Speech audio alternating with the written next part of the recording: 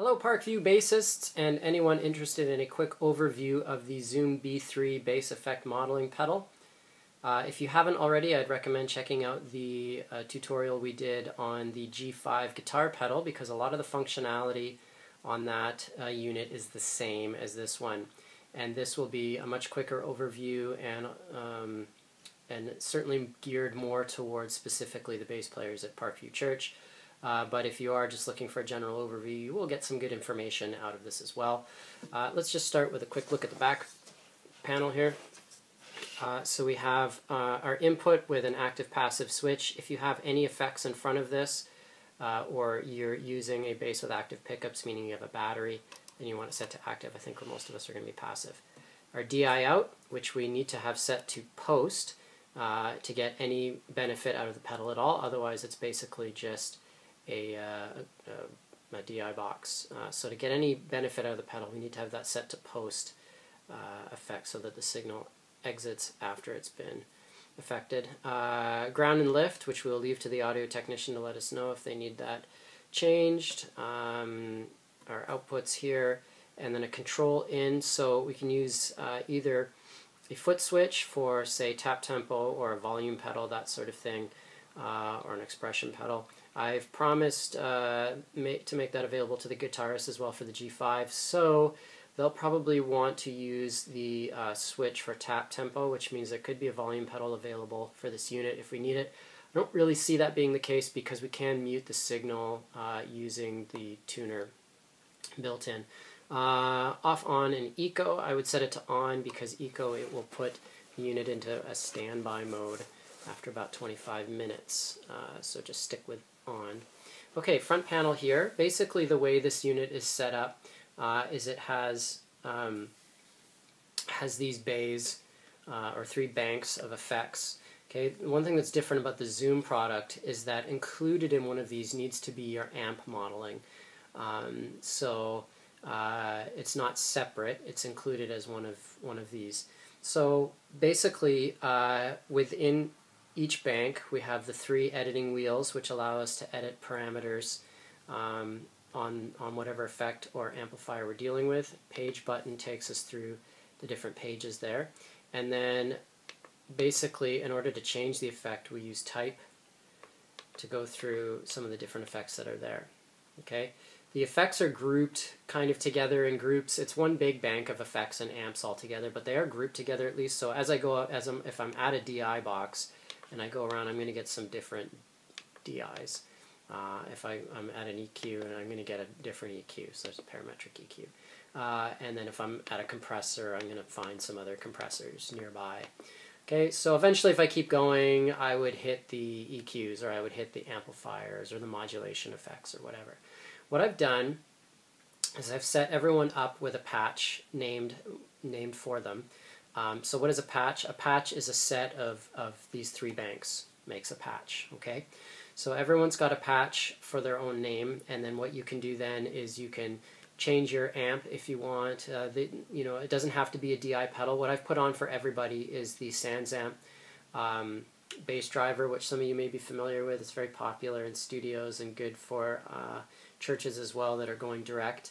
Um, it's a fantastic preamp. Uh, there's also Ampeg, you know, in your SVT and all those classic amps and cabinets combinations uh, that are modeled on here as well. So it doesn't have to be a DI, an active DI or preamp. It can be an amp with a cab simulation and that sort of thing, depending on what you want to do.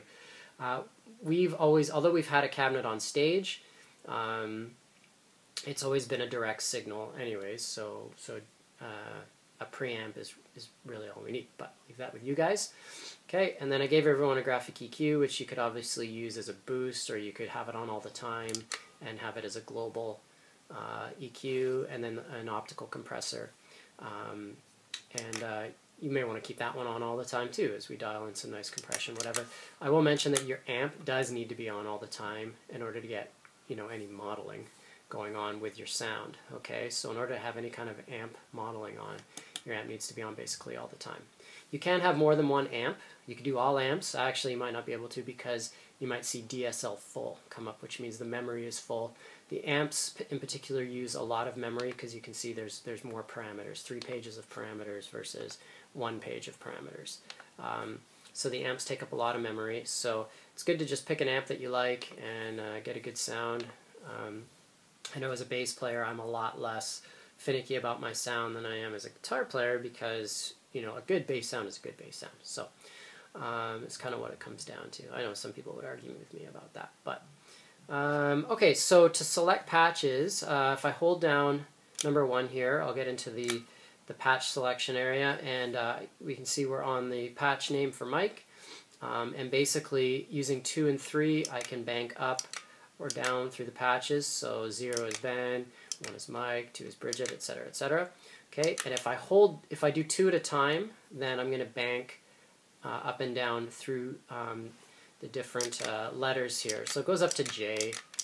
Um, so there's obviously tons of space for people to have more than one patch. If someone's like, you know what, I'd like two or three patches to try different sounds and things like that, that's fine. Uh, you can um, you can rename it uh, and and have it. We can move some patches around so that you have all your patches together. You could take a whole bank if you want. You could say, you know what, I'd like to just take bank J and fill it with patches and experiment. That's totally fine. Uh, there's plenty of room to be able to do that. Okay, so once I pick the patch that I want, uh, then I can hold and I'm back. And obviously everyone's been set up with the same thing to start, uh, just to kind of get a good start, and then you can kind of go from there. Okay.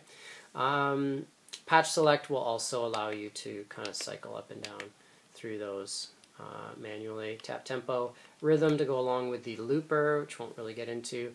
Okay, total basically gets me into the patch editing screen, so the overall level of the patch. Uh, this is like a wet dry uh, balance for your effects. Okay, uh, and then you can change the order that the effects are just by twisting these guys here. Um, you can rename it you can decide what your control pedal uh, or your switch is going to do. Okay, so that's the total screen. Under global, uh, master level, um, so we need to make sure if the audio tech needs a different level here, master level, uh, you can change the signal path, um, and then screen contrast, some stuff to do with the battery, USB uh, audio signals for recording and that sort of thing in the firmware version. So all that's found on the global. The most important thing would be the master level, found under the global there. Okay. Um, for the tuner, uh, if you hold it down the tuner for one second, it will bypass and go to the tuner. If you hold it down for two seconds, which is what we normally probably going to want to do, you'll see it changes to mute. Uh, so that will mute the signal, and then any button will take you home. Uh, kind of the main thing there. So that's basically the gist of it. Um, if you have any questions about the product, you can email me directly at john at stringnoise with a z.com. Uh, as well, you can catch me on a Sunday morning, and I'm sure, uh, knowing you guys, I think you're going to have a fun time just kind of messing around with it and finding sounds that you like. Um, but if you run into anything, let me know. The manual is available on the Zoom website too. If you just search for Zoom B3 manual, you'll get it right away uh, downloadable as a PDF that has a list of all the patches that they've kind of pre-done and the effects uh, are all in there as well. Um, so uh, so yeah, any questions let me know and uh, if you were watching uh, just apart from Parkview Church people, just thanks for watching and I hope you found some useful information.